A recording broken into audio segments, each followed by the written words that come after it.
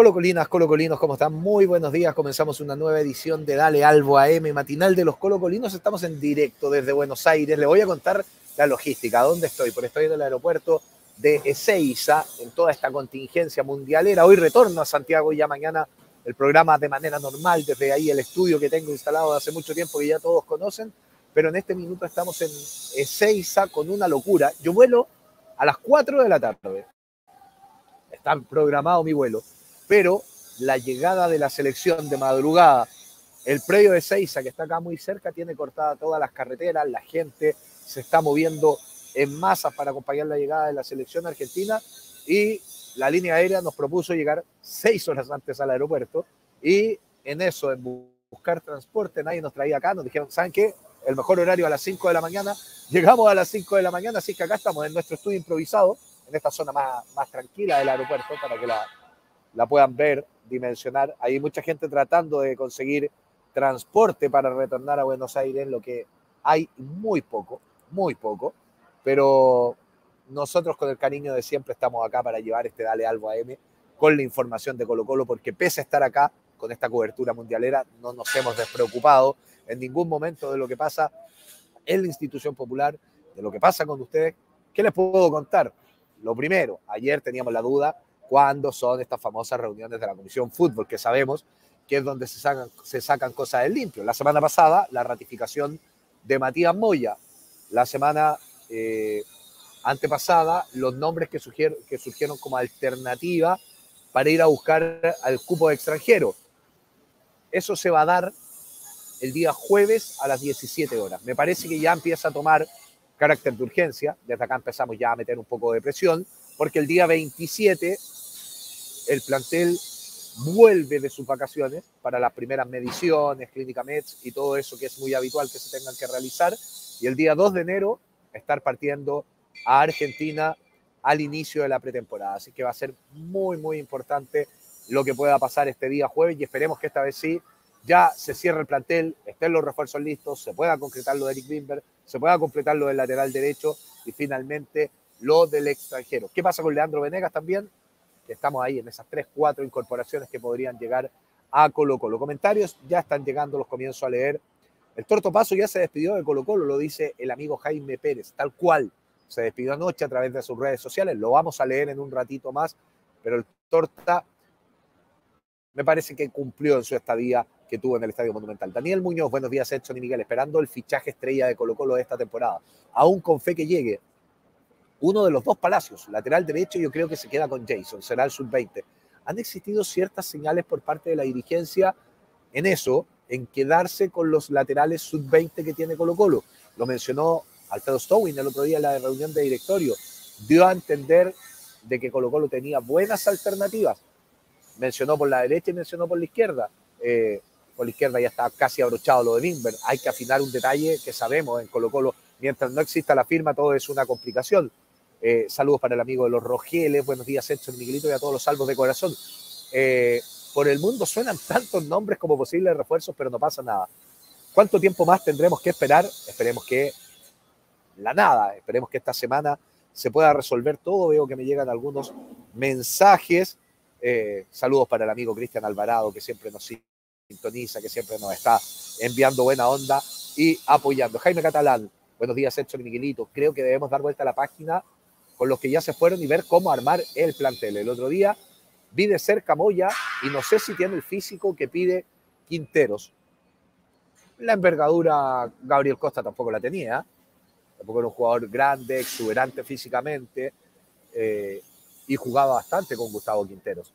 Cuando él pide físico tiene que ver con recorrido, con velocidad, más que una, una presencia, que efectivamente es un jugador menudito, eh, Matías Moya. Acá en Argentina muchos los comparaban, miren lo que voy a decir, con, Diego Buenanote, con cuando apareció Diego Buenanote en River Plate y tuvo sus primeras apariciones, recordemos que jugó solo un partido en primera división en River Plate, Matías Moya, eh, lo recordaban bastante, decían, las cosas que tiene son similares a Diego Buenanote, para que se hagan una idea de, características de juego para los que no, vieron, no lo vieron en Ñublense. Creo, yo lo vi bastante en Ñublense, que tiene algunas cosas, lo vuelvo a decir, es muy hábil con el balón en los pies. Que Zavala, por ejemplo, haciendo esa comparación, es de sacarse a alguien en velocidad.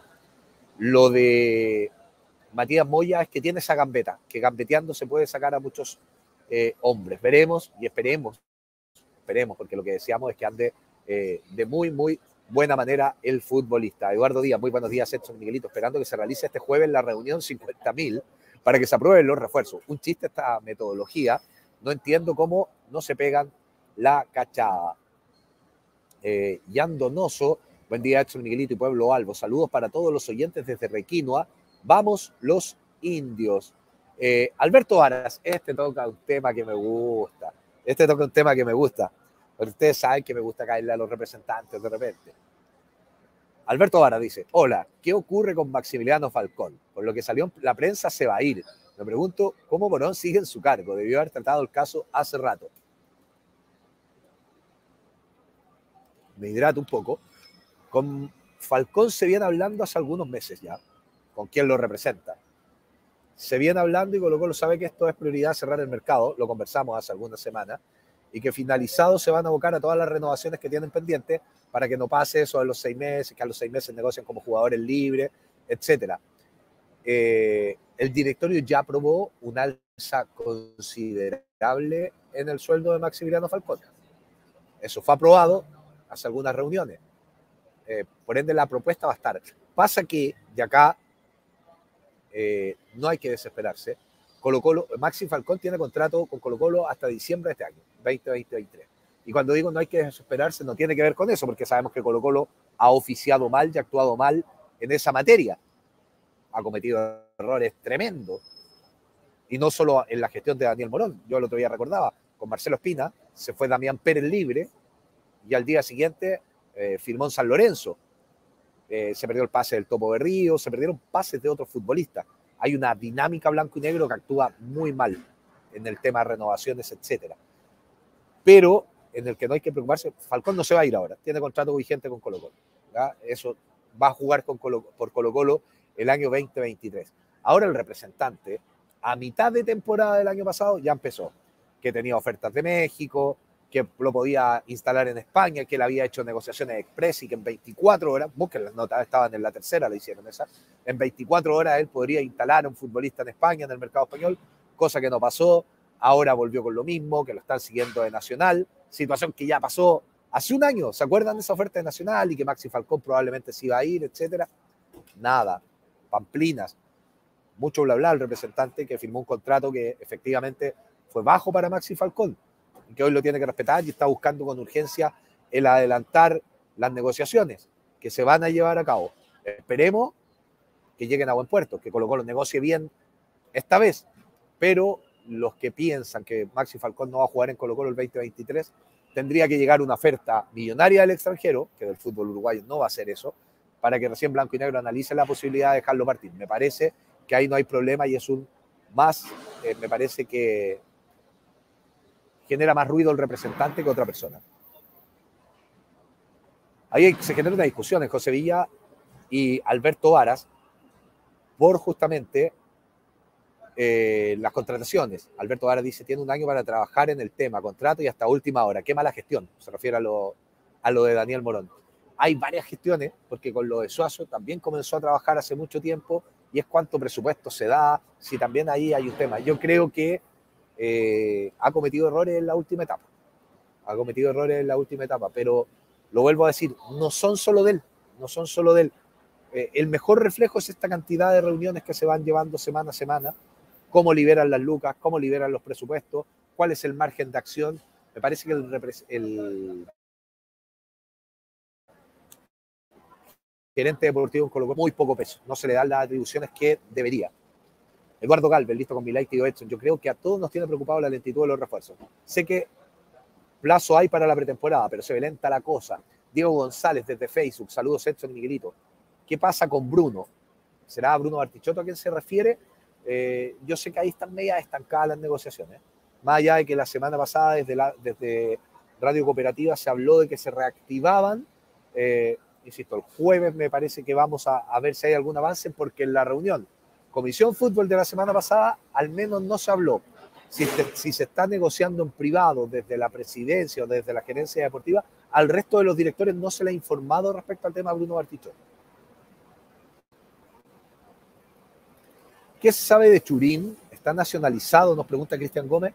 El nombre de Churín a mí me llamó la atención. Salió como alternativa para el gato Juan Martín Lucero en caso de que se vaya.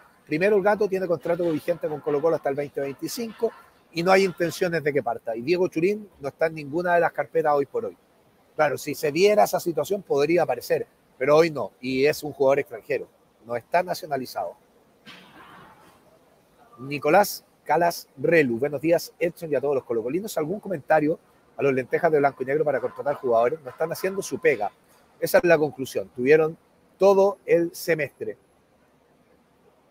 Yo lo conversé hace un rato, sobre todo con lo que se daba en este mercado de pases que finalizaba el campeonato y era un mercado de pases muy largo, que daba margen de acción para trabajar, para pensar, para el día siguiente de tener determinado el campeonato Colo Colo ya ir con las ofertas concretas. Creo que esa intención no existe, creo que si se pueden ahorrar un mes, si se pueden ahorrar un mes y medio, si se pueden ahorrar dos meses, lo van a hacer y finalmente van a negociar a última hora. Por eso digo, son problemas de políticas de blanco y negro más que de una gestión de una persona puntual el, torta ya historia, dice José Villa. Hernán Carrasco, saludos Edson, buen día para ti, un abrazo. Gabo Villa, hola Edson, ¿qué pasó al final con Carlos Palacio y lo de Bruno Bartichotto? Ambos congelados de momento, congelados. Veremos si se reactiva algún tipo de conversación con ellos. Jorge Vargas, buenos días Edson, ¿qué sucede con Bimber? Lo preguntan y bastante. Bimber tiene un acuerdo en cuanto a sus condiciones económicas con Colo Colo, ya sabemos que se sometió a los exámenes médicos, que quiere venir, que Colo Colo lo quiere. Colo Colo ya hizo la propuesta a la calera y hay un acuerdo o una situación que tiene que llegar a un acuerdo la calera con Deportes Valdivia, con cómo reporten las platas, porque hay un porcentaje del pase que pertenece a Valdivia. Eso, ojo, no es menor. Años atrás frustró la llegada del futbolista Universidad de Chile. Eh, no es fácil negociar con la gente de Valdivia. Veremos cómo se soluciona eso y me parece, acá Colo Colo no debe dejar en manos de la calera que se arregle la situación con Valdivia. Colo Colo debe pegar una llamada a Valdivia, cuál es la situación, cómo la arreglamos, cómo la solucionamos para que el futbolista llegue. Eh, Michael Rings, Monsalve, buen día, Edson y Miguelito y a todos los salvos desde Chillán, esperando que se arme luego el plantel para ir por todo, y ahí se me perdió el mensaje por agilizar esto. Claudio de la Vega, se han ido más de los que deberían llegar. Aún no veo un gran refuerzo. ¿Cuántos más deberían llegar? Ya lo hemos dicho. Un lateral derecho, más allá de que Stowell lo pone en duda, por ende lo dejamos ahí a medias de si va a llegar. Eric Wimber tendría que llegar en la plaza de lateral izquierdo. El cubo de extranjero, que es para reemplazar a Costa, que ya hemos dado las alternativas que están ahí. Y la opción para el centro atacante, que se ha reactivado esto de Leandro Venega, por lo cual mínimo tres, máximo cuatro van a ser los refuerzos que van a llegar a Colo Colo y que esperemos se puedan abrochar durante esta semana. Vamos a bajar bastante para actualizar. Eh, Joanny, buen día y bendiciones para el pueblo colocolino. Sion, el tema de Morón es un tema del funcionamiento blanco y negro y que tenemos pocos recursos. Al final tiene gente con plata y un fetiche de poder. El tema del presupuesto no es menor. Colo Colo negocia con súper poco presupuesto con súper poco presupuesto de alternativas para ir a buscar refuerzos. Sebastián González Díaz, en tiempo de negociaciones deberían hacerse reuniones martes y jueves. Sion, ¿qué será que aún no sabemos cuánto es el presupuesto para refuerzos? Algo básico antes de partir a buscar es saber con cuánto cuentas. Cuentas. Es verdad, también lo hablamos, algo que no, que no se definió, que no lo definió Blanco y Negro y que llama, llama bastante la atención. No ha actualizado Instagram hoy donde nos escribe mucha gente, con muchas interrogantes, muchas preguntas. El día de hoy estamos tratando de resolver o de responder, más allá de que yo sé que a la gente le da lata, porque terminan diciendo, oye, entregan poquita información, etcétera. Eh, no les podemos mentir, no hay más respuestas, no han existido más avances respecto a lo que son los jugadores, los refuerzos que tienen que llegar a Colo Colo. Cristóbal 630, saludos para él. Israel Morán, Buenos días. ¿Cuál es tu opinión de los refuerzos nuevos? Más bien incorporaciones. Para mí, Fernando de Paul tuvo una gran temporada en Everton de Viña del Mar. No tuvo una buena temporada, tuvo una gran temporada en Everton de Viña del Mar. En su paso por la U dejó algunas dudas, probablemente muy afectado por el horrendo desempeño de la totalidad del plantel durante esa temporada. El año pasado tuvo una gran temporada, me parece que es un buen arquero, que es un buen reemplazante para Cortés. No está para ser titular, pero es un muy buen reemplazante y creo que sube algunos peldaños respecto a la alternativa que era Carabalí. Parece que es hoy más arquero. Carabalí jugando tal vez se puede transformar en otra cosa, pero hoy es más arquero. Eh, después tuvimos a Fernando de Paul, Ramiro González, tengo muchas dudas. Me parece que cuando estuvo en Unión Española fue un jugador regular, no un mal jugador, pero un jugador regular. En talleres, lo mismo, por algo talleres, compitiendo internacionalmente, lo deja partir el primer semestre. Y va a Platense. Y va a Platense jugó, jugó bastante, un jugador aguerrido, tiene buen juego aéreo. Lo que tiene a su favor, lo que tiene a su favor es que le gusta mucho a Gustavo Quintero. Gustavo Quintero lo quiso la temporada pasada y esa es una tremenda ventaja para el futbolista. Van dos, Matías Moya, para cerrar con los tres confirmados. Eh, ya lo dije hace un rato, me parece un jugador muy habilidoso, muy bueno en el uno a uno, eh, desnivela de mitad de la cancha en adelante, pero hay que verlo con la camiseta de Colo Colo. Me parece que eso es algo completamente distinto a lo de cualquier otro club. Gonzalo Rey. ¿Quién es el 10? No hay un 10 en la búsqueda. Hay un jugador de último pase, lo hemos dicho, y que tiene que ver con la forma de, jugar de Gustavo Quintero. Y ahí está en ese extremo que puede volantear, donde está el nombre de Auski, donde está el nombre de Palacios, donde se sumó eh, Samudio. Pero un 10 como tal no está en la búsqueda de Gustavo Quinteros. Algo de Martín Rodríguez, nada de Martín Rodríguez de momento por parte eh, de la dirigencia, más allá de que es un nombre de los que le gusta a Gustavo Quinteros. Es verdad que Colo Colo quiere a Jefferson Soteldo. Jefferson Soteldo fue un jugador que lo ofreció quien lo representa. No estaba en ninguna carpeta de Colo Colo. Fue ofrecido Soteldo. Colo Colo dijeron, ah, mira, un jugador que es interesante, pero es un jugador que está en el fútbol mexicano, brasileño, perdón, que su contrato pertenece al fútbol mexicano y que su sueldo tiene diferencias abismales, pero abismales, con lo que se paga en Chile. Alejandro González dice, hola, buenos días. No es por ser pesimista, pero creo que en la Copa con los jugadores que llegan al club daremos la hora. En Copa, soy realista, no lo crees así. Yo creo que Colo Colo tiene, no el deber, Colo Colo tiene la obligación de pasar primera fase de Copa Libertad. Colo tiene que hacerlo, con lo que, inclusive con lo que tiene, sin que lleguen más nombres. Vuelvo a un discurso repetido, que lo he dicho considerable, constantemente, que lo he dicho muchas veces. Este año, este año, que está por terminar, 2022, Colo Colo tuvo todo para avanzar en un grupo con un equipo brasileño y con River Plate. Pero tuvo todo y se la farrió. Lo que fue, fue una farra. Más allá de las bajas que se habla, Colo Colo, con el plantel que tenía, pudo hacer algo mucho mejor. Se perdieron los tres puntos de farra. Eh, en Perú con Alianza Lima, y después había un partido para asegurar en el Monumental. Y dentro de ese plantel jugaba un Gabriel Costa que muchos decían que no tenía que jugar, que tenía que ser otro el titular, por ende reemplazable, reemplazable, para mí importante, pero reemplazable. Tal vez la de Gabriel Suazo es la baja más importante, eh, pero el resto todo es reemplazable. Dentro de lo que tenemos, más allá de que tienen que llegar nombres, por ende yo creo que Colo Colo tiene que avanzar. Además, ya vamos a hablar de las nuevas normas de la Copa Libertadores, la Copa Sudamericana, Colo Colo debió ante Inter, Inter de Porto Alegre, también clasificar en Copa Sudamericana y no lo hizo. No lo hizo. Zabala se quedó, se va, no hay una ratificación, pero todo indica que se va a Curicó. Saludos desde Viña, nos dice Carlitos González 14. Alejandro González dice, no nos engañemos, por favor. Ah, en mi punto de vista, si tú piensas lo contrario, está bien. Eh, yo creo que Colo Colo, por cómo jugó esta Copa Libertadores, por cómo jugó la Copa Sudamericana y por cómo se lo farrió, tiene que pasar.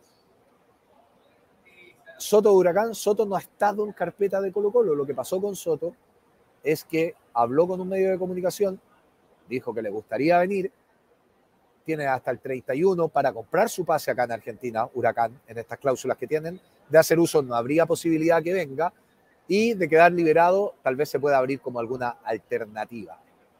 Cristian Pavón no lo tengo como alternativa, eh, varios dicen empezó a sonar hace poco, yo no lo tengo como alternativa. No me han dado el nombre. Eh, cuando empieza a sonar es por algo. puede ser que el día jueves se termine ratificando. Bernabé Nicolás, Bernabé Nicolás, ¿qué pasa con la cantera? Este año no fue muy bueno para Colo Colo en ese aspecto. ¿Qué pasa con la oportunidad de esos jugadores? ¿Por qué salir a buscar un lateral si podemos traerlo de la cantera? Es un buen ejercicio. Cuando acá se encochan las balizas y todo el ruido, les recuerdo estoy en el aeropuerto, que hay una alta contingencia por todo lo que hay en el aeropuerto de Seis en Buenos Aires, por lo que se vive con la llegada de la selección argentina, que ya llegó en horas de la madrugada, que está acá muy cerquita eh, en el predio de Seiza pero hay mucha gente que no se puede movilizar, que no puede llegar a Buenos Aires por todo lo que está pasando en las carreteras, la gente esperando en masa la selección y por eso vamos a escuchar mucho ruido externo acá en el aeropuerto. Volviendo a los jugadores jóvenes, es verdad, no tuvieron el desarrollo que uno esperaba, la cantidad de minutos, la cantidad de oportunidades y creo que una tarea al debe que tiene Colo Colo como institución, como políticas de cuando se traga un futbolista y se tapa a uno.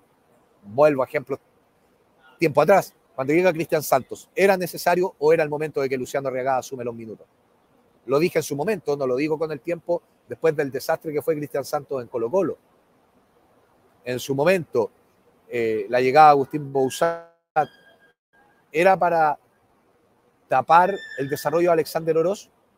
A mí me parece que no. Y ahí es donde Colo Colo tiene que eh, dar vuelta y evaluar todo lo que está realizando como política institucional. Carlito González ¿Qué pasará con Joan Cruz? Todo un misterio. En Colo Colo lo dan por renovado, lo quieren, eh, pero quienes lo representan están viendo estos aspectos legales que me parece que, no se va a resolver tan rápidamente. ¿El Peluca se va o no? No, el Peluca se va a quedar. ¿Está en conversación Venegas? Sí, Venegas está en conversaciones eh, hace rato con Colo Colo. No ahora, hace rato en conversaciones.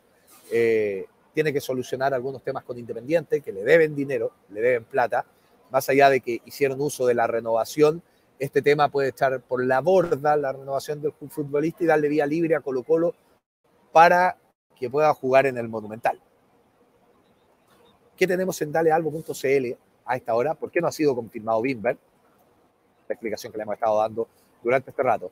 Opaso se despide de Colo Colo al borde de las lágrimas. ¿Qué podemos decir? ¿Qué fue lo que dijo?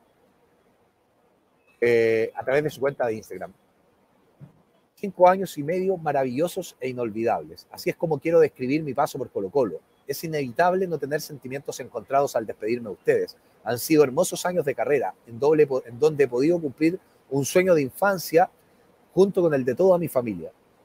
Me llena de orgullo poder decir que juntos logramos siete títulos, valiosos en todo este tiempo.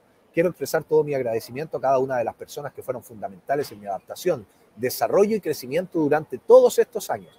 Cancheros, área médica, todos los cuerpos técnicos que me dirigieron, tías de acceso, lavandería, personal de la cocina, que significa mucho para nosotros en el día a día, utileros, mis compañeros y amigos que fueron mi segunda familia en todos estos años. Y por último, a todo el pueblo colocolino que me entregó su apoyo desde el primer día. Me, llevo me llevo los mejores recuerdos y un tremendo cariño recíproco que jamás imaginé. Gracias también porque estuvieron cuando más lo necesitamos. Estas fueron las palabras de El Torta que cerró diciendo, quiero que sepan que mi compromiso y respeto, respeto a esta camiseta fue desde el primer día, en cada entrenamiento, en cada partido, en cada triunfo y sobre todo en cada momento adverso. La despedida del Torta a través de redes sociales. Solo quiero destacar algo, yo sé que algunos quieren hablar de lo que viene, que los jugadores que ya no están hay que olvidarse de ello. Quiero destacar algo porque fue un futbolista eh, importante en títulos de Colo Colo, pero destaco también al Torta desde lo individual. Lo viví, eh, lo puedo contar ya. Yo cuando trabajaba en Colo Colo, el Torta era el último en irse del estadio y muchas veces lo hacía para quedarse a almorzar con los utileros. Tenía esa convivencia, destacó ahí en el texto mucho a las tías del aseo, esa convivencia con la gente de a pie que trabaja en el Monumental, eh, muy importante. Y eso creo que siempre hay que valorarlo en los momentos de partida se resaltan más cualidades y condiciones de distintas personas. Y lo quería destacar en el torta o paso. Colo Colo tiene fecha para regresar a los entrenamientos, otro de los contenidos. Claro, Colo Colo vuelve el día 27. El día 27 a las mediciones, eso va volviendo en bloque por partes. La pretemporada como tal comienza el 2 de enero en Argentina. Recordemos que el año pasado el cuerpo técnico de Gustavo Quinteros, él en particular, se sumó en Argentina. Las mediciones las realizaron en Santiago con el preparador físico, algunos trabajos, pero él se sumó en Argentina y algunos jugadores que estaban acá también se hicieron mediciones acá y se sumaron a los trabajos el día 2, que es el día más importante de inicio de la pretemporada.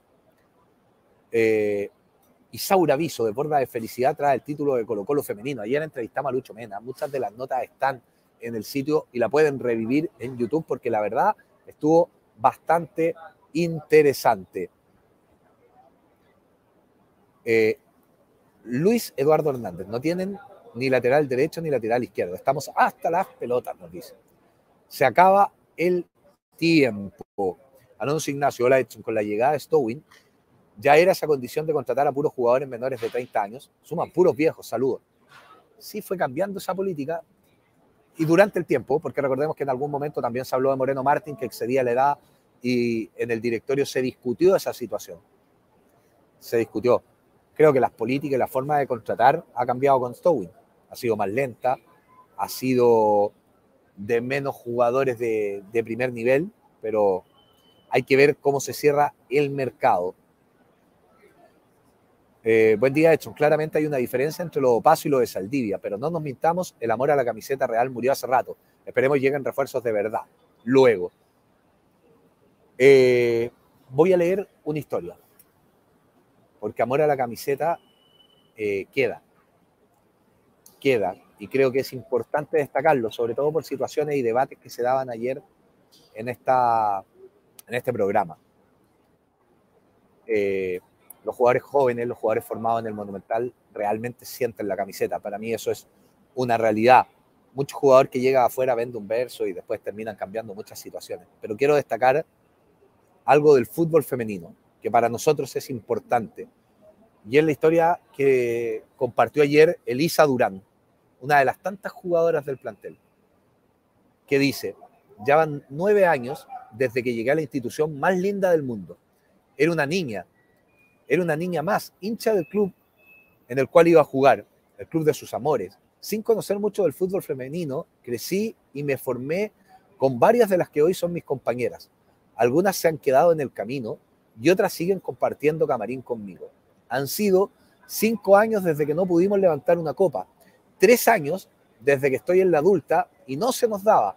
Este año fue la vencida y con suma de trabajo constante. Pasamos un montón de cosas en la interna que sin duda nos hicieron más fuertes, nos, unió y nos convencimos todas y todos, los que somos parte de que salir campeones era algo que solo dependía de nosotras. Hoy, ya con más calma y aún sin creérmelo un poco, bajamos la tan ansiada 14, con Rosario en la memoria y con David guiándonos por la senda triunfal todo este año y para lo que viene también, que se viene la copa más linda con este grupo, que estoy seguro dará la pelea por todo finalmente gracias a todos los que estuvimos durante todos estos años en las malas, porque hoy podemos disfrutar de las buenas. A mi familia que siempre ha estado en cancha, a mis compañeras y cuerpo técnico, gente que nos ayuda en el club, a mis amigas, amigos y personitas especiales. Ser del Colo es lo más lindo que existe y esta institución para mí siempre será un lazo permanente de indestructible unión. Somos campeones, loco, dice Elisa Durán. ¿Por qué lo destaco? porque es un mensaje lleno de identidad colocolina. Menciona a Rosario. ¿Quién es Rosario? Rosario Moraga, la mamá de David Arellano. Dice, con Rosario y David en la memoria. Conociendo la historia fundacional del club, que creo que es algo súper importante. Después dice que Colo Colo es un lazo permanente de indestructible unión. Frase que utilizaban los fundadores de la institución, que llegó a los nueve años a Colo Colo y que ahora fue campeón en el primer equipo. Eh, Creo que este tipo de jugadoras merecen todo el reconocimiento, todo el apoyo. Eh, algo muy similar escribieron varias jugadoras, la Javi Gress también, algo muy similar, además confesó que se va a hacer un tatuaje con la estrella 14. Creo que es súper importante destacar ese amor a la camiseta y merecen mucho más apoyo. Amor a la camiseta que yo sé que tienen muchos futbolistas de Colo Colo, muchos que han llegado de afuera y se han enamorado de la institución y muchos formados en casa es verdad que los tiempos son distintos y que algunos se van a la primera oferta. Eso es muy real. Yo siempre lo digo, hay que esperar el paso de los años para darse cuenta qué tan real era el amor por la camiseta. eh, pero de que existe, existe. Eh, cuando no estuvo paso, casi nos fuimos al descenso, dice Coto Guti. No estoy tan seguro, porque apareció en ese momento Jason Rojas de muy buena manera en una etapa que Colo Colo fue salvando los puntos, fue generando los puntos para el rescate de, la categoría. Recordemos que el Torto Paso se en ese partido con Palestino cuando Colo Colo, o sea, cuando comenzaba la era Gustavo Quintero, llevaba dos o tres partidos. Y ahí Colo Colo tuvo un alza. Fue parte del mal momento también del Torto Paso, como fue parte de buenos momentos. Eh, ¿Por qué Suazo se fue gratis? Por mala gestión. Sin duda que por mala gestión. Eh, sí o sí deben buscar un lateral a la altura de Opaso, daremos la cancha por esa banda. Jason es paquete de lateral, sirve más de central. Yo creo que son dos jugadores que pueden crecer mucho. Jason y Bruno Gutiérrez. Bruno lo demostró en el partido, en los partidos con el Betis, eh, partido con River Plate, entró de muy buena manera. Pipeño, consulta, en caso de que el estadio no esté listo cuando comience el campeonato, ¿se respeta la entrada en el estadio que jueguen? Sí, a los abonados se tiene que respetar. Eh, pero la información que manejamos es que va a estar listo. Vamos a seguir indagando en ese tema que la cancha va a estar en buenas condiciones y que va a llegar para el inicio de la competencia. Miguel Matías dice, acá son los debates, que a él no le da miedo enfrentar con Bruno la Copa Libertadores. Eh, Colo Colo Rap Gmail, dice el presidente de Blanco y Negro. ¿De dónde salió? No tiene ni un brillo. Aguante Colo Colo el más grande.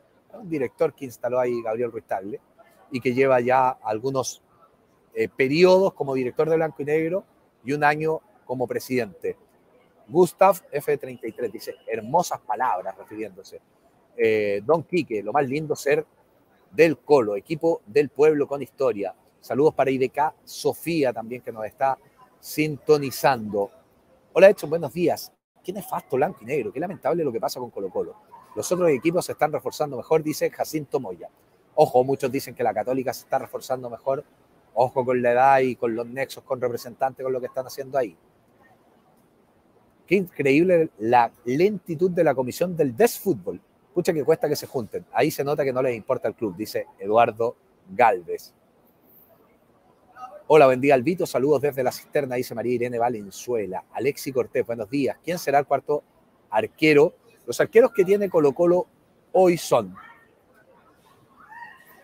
Brian Cortés, Fernando de Paul, Eduardo Villanueva y probablemente Julio Fierro va a ir a préstamo. Entonces ahí vamos a ver quién se suma como cuarto arquero en el cacique. Eh, puede explotar en Curicó, si es verdad. Sí, ojalá pueda explotar, ojalá, si es que va, le vaya muy bien y pueda jugar. Eh, Felipe Núñez, refuerzos y refuerzos. ¿Y qué va a pasar con toda la cantera? ¿Quién va a quererse en canterano en Colo Colo sabiendo que cuando juega debe ser mejor que Messi para jugar los últimos 15 minutos. Algo muy cierto. Hola Edson, creo que la Joya Palacio no va a ser buen refuerzo si llega a Colo Colo. Hoy está muy difícil que llegue. El tipo no está bien de la cabeza para jugar en el más grande. Es lo primordial, mucha fortaleza mental. Creo que le fueron afectando todas las cosas que, han pasado. Eh, Morón tiene que renunciar si no tiene peso en Colo Colo, dice Marcelo Ortiz. Creo que ese es un tema. Más allá de la evaluación que uno puede hacer, si no te dan las herramientas, si tú no estás cómodo, hay que renunciar. Yo creo que eso es una realidad. Rodrigo, hablando del equipo de proyección, ¿se sabe si el DT Diego Rubio seguirá a cargo? ¿No sería bueno iniciar un nuevo proceso en esa área? Dos años sin campeonar y con algunas falencias en el juego. De momento, no hay cambios en el fútbol joven. Entiendo que por estos días se realizan reuniones y evaluación de lo que va a pasar al respecto. 9 con 6 minutos, Miguel Gutiérrez, cuando quieras acompáñame para que nos entregues toda la información adicional, pero te quiero preguntar por algo en particular, por las modificaciones que va a tener la Copa Sudamericana, la Copa Libertadores, para que se las puedas contar a la gente, porque estamos a la espera del sorteo, que va a ser en marzo para Colo Colo, pero hay muchas modificaciones en estos torneos, especialmente en la Copa Sudamericana, pero siempre hay que estar alerta ahí en base a lo que pueda pasar a futuro. Muy buenos días, ¿cómo estás querido Miguel? Te escucho atentamente. ¿Cómo están muchachos? Muy buenos días. Así es, hay cambios en la Copa Sudamericana. Se anunció el día de ayer por parte de la Comebol, lo que era un rumor se transformó en realidad durante la noche. Y para explicar estos cambios, nos vamos a remitir a la fase de grupos de la Copa Libertadores, porque hasta, hasta este año los terceros de grupo de la Copa Libertadores eran transferidos automáticamente a los octavos de final de la Copa Sudamericana. ¿Qué es lo que pasó? ¿Qué fue lo que le pasó a Colo Colo el año pasado? Claro. Exactamente. Eso es lo que ocurría hasta el año pasado. Este año se introdujeron dos cambios en la Copa Sudamericana, uno en primera fase y segundo en esa ventana que se va a armar rumbo a los octavos de final, tanto de la Libertadores como de la Sudamericana. A lo que le va a importar a Colo Colo, porque a partir de este año o de la edición 2023 de la Copa Sudamericana, se va a, se va a establecer unos playoffs entre el tercero de grupo de Copa Libertadores, los terceros de grupo de Copa Libertadores, con el segundo lugar de la fase de grupos de Copa Sudamericana. El por qué. Durante la Copa Sudamericana 2022, muchos equipos reclamaron acerca de por qué quedan eliminados muchos equipos que quedaron en segundo lugar, especialmente de la Copa Sudamericana, porque solamente los primeros de grupo eran transferidos a los octavos de final de la Copa Sudamericana junto a los terceros de Copa Libertadores, para establecer justicia deportiva, entre comillas, para estos equipos que quedan en segundo lugar y que se farrean la posibilidad de poder seguir avanzando, es que se crean estos playoffs, ida y vuelta entre los terceros lugares de Copa Libertadores con los segundos lugares de la Copa Sudamericana. Partidos de ida y vuelta y los que ganan siguen a los octavos de final de la Copa Libertad, de la Copa Sudamericana 2023. Ese es uno de los cambios que se ha propuesto de parte de la Conmebol, ya está ratificado, eso va a ocurrir durante la próxima Copa Libertadores. Si lo asimilamos al escenario de este 2022, Colo Colo habría disputado esos playoffs con, el con algún segundo lugar de la Copa Sudamericana y de haber avanzado, seguiría en los octavos de final de este torneo, dado que se va a establecer en primera ronda, y ahí por eso el cambio, se establece en primera ronda en esta fase nacional de Copa Sudamericana, donde está nuestro país involucrado, va a haber solamente un partido, un, solamente un encuentro para definir a los dos equipos chilenos que van a seguir avanzando en la Copa Libertadores. Y para suplir esa falta de partidos en el calendario, es que se crea estos playoffs entre el tercero de Copa Libertadores y el segundo de la Copa Sudamericana para definir quién avanza a los octavos de este último torneo. Ese es el principal, los principales cambios propuestos por Conmebol y que van a ser una realidad a partir del próximo año 2023 en el sorteo que en fases previas de Copa Libertadores y Sudamericana será mañana miércoles y para marzo del próximo año lo que nos va a estar importando el sorteo de fase de grupos de la Copa Conmebol Libertadores hay que estar muy atentos a lo que vaya a pasar. Esperemos que no, esperemos que no se dé esa situación, porque queremos que Colo Colo pase la fase, la primera fase de Copa Libertadores.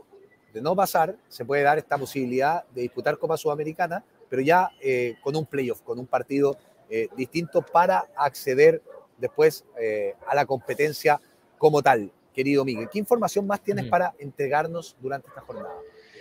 Buenas noticias en torno al básquetbol de Colo Colo porque se disputó el fin de semana, o mejor dicho, se sigue disputando eh, la Liga de Desarrollo rumbo a los, eh, al cuadrangular final y ya tenemos a los dos primeros clasificados y uno de ellos es Colo Colo, que venció, que venció al mejor de tres a Universidad Católica. No fue necesario un tercer eh, partido en el último encuentro 63 a 58 en el edificio de deportes de la UC y falta conocer al rival, a quién se va a enfrentar eh, Colo Colo en, estos, eh, en este cuadrangular. El otro clasificado fue el Club Deportivo Español. Entre mañana y el jueves van a salir los otros dos clasificados al cuadrangular. Por un lado está el Club Alemán de Concepción frente a Thomas Lorenz, que va a estar jugando el día jueves, el tercer partido, y el Club Deportivo Brisas frente a Quilpue Basketball, que van a estar jugando mañana este tercer encuentro. Ambas llaves terminaron uno a uno durante el fin de semana, por lo tanto, por las bases se establece este tercer partido que se va a estar disputando. Entre mañana y el jueves vamos a estar conociendo los otros dos clasificados para el cuadrangular final, para esta última ronda de la Liga de Desarrollo del Básquetbol, pero Colo Colo ya está clasificado para este cuadrangular junto al Club Deportivo Español Dosorno. Resta conocer quién va a ser los otros dos clasificados que se van a estar definiendo entre mañana y el día jueves para ya armar este cuadro de los cuatro mejores de la temporada de la Liga de Desarrollo de Básquetbol de nuestro país con Colo Colo, clasificado, derrotado a la UC por dos partidos contra cero, el último de ellos en San Carlos de Apoquindo. Muy bien, muy buena noticia. Siempre hay que ganar la Universidad Católica. Así que muy bien, Colo Colo ahí en el básquetbol. ¿Te queda algo pendiente, Miguelito? Estamos en condiciones ya de despedirnos. No, estamos en condiciones ya de ir cerrando también esta, este, este enlace y tratar de desocupar. Voy, voy a leer un par de comentarios, vamos a llegar un, sí. un poquito más de información. Pero mañana, mañana nos reencontramos ya en Chile, ya en Chile. Así que esperamos tener un buen viaje de retorno ahora a la capital del país. Un abrazo grande, Miguelito. Que así sea, buen viaje. Ahí está Miguel Gutiérrez. Jaime Pérez nos pregunta, esta pregunta que se ha hecho recurrente, ¿qué pasa con Bimber? Le respondo porque además dice, habían rechazado el chequeo médico y el proceso se retrasa, nos preguntan, no, no, no. Nunca fue rechazado el proceso médico de Eric Bimber. Lo que se identificó, que es una situación distinta, se identificó que tenía un desbalance, es decir, tenía una pierna más trabajada muscularmente que la otra. Esto producto de la operación que vivió, pero se calculaba que con el trabajo específico que se le dio iba a llegar de buena manera a la pretemporada. Bimber no ha sido presentado por las diferencias que existen entre la calera y Valdivia, que tiene parte del pase, para poder llegar a Colo Colo. Por ese motivo no ha sido presentado y tendría que resolverse en los próximos días. La visión de equipo grande que tienen algunos es la misma de por eso Blanco y Negro no invierte, dice Marcelo Redondo. Alex Barrientos, el profe no le gusta jugar con juveniles, quedó demostrado con Santos cuando tapar regada. Ahora nos queda, nos quedamos sin un buen goleador. No olvidar que Luciano hizo goles importantes para no descender. Después agrega que a pesar de que Bouzat mostró un poquito en los partidos con el Betis, lo hizo bien. Le sigo teniendo un 1% de fe. Quizás no va a ser figura, pero servirá para ampliar el plantel. Sí, absolutamente puede servir para ampliar el plantel. Ahora, yo estuve conversando acá con Pablo, que es un editor de Bola en Argentina, que es hincha de Vélez, le preguntaba por el gato Lucero y por el Chiqui Bausat. Me decía, el gato Lucero se fue en su mejor momento de Vélez Le costó al principio, pero estaba en su mejor momento cuando se fue haciendo muchos goles. Y el Chiqui Bausat me decía, lo esperamos años. Lo esperamos años y siempre se ocupó el cuento de que era muy bueno en la faceta defensiva, pero ofensivamente no aportaba mucho, que es un poco lo, mismo que nos hemos ido encontrando en Colo Colo. Eh, Sergio Lago, respecto al mensaje que leíamos de Elisa Urán hace algún rato, iba a decir, eso es identidad, pero me ganaste la mano, aguante Colo Colo y su gente. Eh, Edson, ¿por qué crees que a mucha gente le cuesta ver de la misma forma el fútbol masculino que el femenino? Creo que Colo Colo avanzó mucho en mejorar el femenino nacionalmente. Es natural, es natural. Eh, de hecho, a las propias mujeres futboleras también hay muchas que no les gusta el fútbol femenino. Es una cuestión que, que pasa, eh, está en una especie de amateurismo en Chile, aún no 100% profesional. Yo lo disfruto mucho, a mí me gusta mucho, eh, me gusta mucho ver ganar a Colo Colo, me gusta mucho alentar a Colo Colo, acompañar a Colo Colo, y me gusta mucho el cariño que tienen estas futbolistas eh, por la camiseta, por la camiseta. Aún hay una brecha grande en un montón, en condiciones, ayer en la entrevista de Lucho Mena, se dieron a entender muchas de las condiciones que no tienen para trabajar. Eh, y también de una brecha futbolística, es algo natural, es algo natural. Es más, cuando yo te mencionaba esto de las mujeres, nosotros en el sitio sacamos estadísticas de las notas, etcétera. Y cada vez que hacemos estadísticas del fútbol femenino, son mucho más los hombres que leen las notas del femenino que las propias mujeres. Entonces, también hay todo un tema ahí en cuanto a, a quién le gusta, etcétera. Eh, Patricio Quilodrán, el video de la 14 que salió ayer estuvo muy emocionante, mostrando la alegría de las campeonas, evidenciando lo colocolinas que son. Podrían verlo estos que minimizan el fútbol femenino. Eh, el fútbol femenino manteniendo el espíritu de David y el amateurismo, ¿verdad? Eh, ¿Qué pasó con Darwin Vaca? No se llama Darwin Vaca, es Erwin Vaca, amigo. Eh, ¿Están viendo alguna posibilidad de que vayan a préstamo? varios jugadores que llegaron a esa condición de extranjero de Colo Colo, aún no se confirma.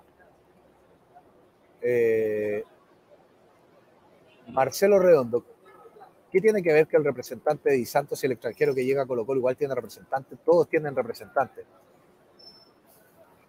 En Católica uno de los grandes problemas que tuvo en la época más conflictivas que llegaban todos los futbolistas del mismo representante y no tenían un gran rendimiento. No estoy hablando solo de Di Santos ni de otros futbolistas Di prácticamente no jugó el último año. Ojo con eso. Prácticamente no jugó. Hay que ver si va a andar en Chile. Hay que ver si va a andar. Es una alternativa, me parece que lleva, llega como alternativa. Eh, de Fernando Sampedri, pero ojo, en, en Católica pasan muchas cosas raras, muchas cosas raras. Y, en las últimas pasadas no la ha ido bien. Revisen los nombres que trajeron el año pasado, revisen los técnicos que han traído últimamente, que lo han tenido que desvincular. No todo es perfección, como se quiere decir.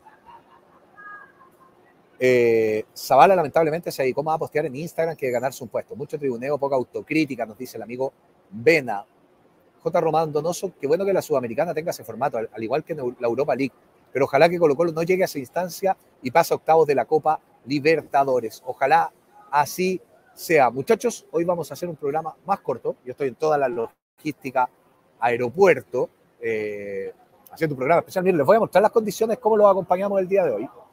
Estamos acá, el típico carrito para desplazar eh, la valija, la maleta. Ahí instalamos el computador, instalamos la cámara, instalado con el, con el wifi del aeropuerto, con nuestra cámara, sin el micrófono habitual que tenemos, para no consumir tantos recursos y poder tener una transmisión que, que, nos puedan acompañar, que la puedan tener ustedes.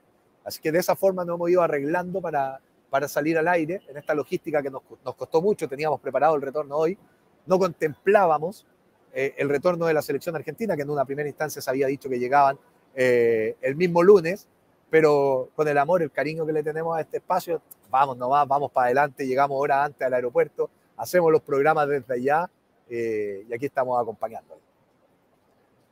Camilo Freeman se ríe de nuestro estudio, la oficina remota. Eh, son martes class, eso se llama dedicación y vocación. Eh, vuelven a preguntar por Martín Rodríguez. Hoy no es tema en la directiva de Blanco y Negro, más allá eh, de que a Gustavo Quinteros le gusta y le gusta mucho. Yo, amigo esto no se nos vaya a fatigar. No, ¿cómo nos vamos a fatigar? Acá hay pura energía, pura energía y aguante colo, colo, colo, colino. Me dicen que me robe la copa. Nada, eh, a Independiente habría que quitarle una, una que nos quitaron ellos. El otro día lo conversaba con un hincha de Independiente muy futbolizado. Me tocó ir a una tienda a buscar algo que, ahí, que me encargó el Lucho Marambio. y la gente en la tienda, y esto es medio anecdótico, pero me, me, gusta conversarlo, ya que contamos muchas vivencias también en este programa. Él, la persona estaba comprando. Luego estaban todos los que atendían, que eran tres muchachos muy jóvenes, y que empezaron a hablar de Colo Colo, de que el equipo que más conocían acá en Argentina era Colo Colo, y hacían la pregunta, ¿cuál es la U Católica y cuál es la U de Chile? Esa confusión, y la tenían todos. la persona que era mayor, que era hincha independiente, decía que el mejor jugador que vio en el Colo Colo 91, porque se acordaba perfectamente de esa Copa Libertadores, era Marcelo Bartichotto, decía que marcaba una diferencia eh, tremenda, valoraba mucho a Carlos Caselli, se acordaba de la Copa del 73, él de, entre broma y broma él decía que no la robaban, yo le, lo, cargaba con eso, pero decía que Caselli fue un tipo espectacular, además de tener mucha conciencia social. Y después siguió el debate futbolístico y él que se mostraba mucho más conocedor que los otros muchachos que eran más jóvenes, de repente dice, no, y Gorosito y el Beto Acosta jugaron en la, Universidad de Chile. Y yo digo, ¿viste? ¿Viste que no los conocen? Jugaron en la Católica y se genera ese tipo de confusión, pero se respeta mucho a Colo Colo allá, acá. Se respeta mucho a Colo Colo acá eh, en Argentina, más allá de las campañas internacionales que, que ha tenido últimamente. También valoran mucho la cantidad de gente que mueve. El hincha de Boca decía impresionado que es uno de los equipos que más gente ha llegado a la bombonera. Así que algunas de las cuestiones para, para ir contando de lo que fue esta experiencia, que por lo demás fue, fue maravillosa de poder vivir este periodo acá. 9 con 21 minutos de este 20 de diciembre 2022. Dejamos hasta acá esta edición algo más breve de Dale Algo a M, pero mañana con mucha información. Se acerca la reunión de la Comisión Fútbol. Vamos a llegar a reportear nombres como locos para tener, como siempre, muchas primicias, mucha información y la actualidad del elenco más popular de Chile. Un abrazo grande, que estén muy bien. Nos reencontramos en Chile. Vamos, Colo Colo. Chau.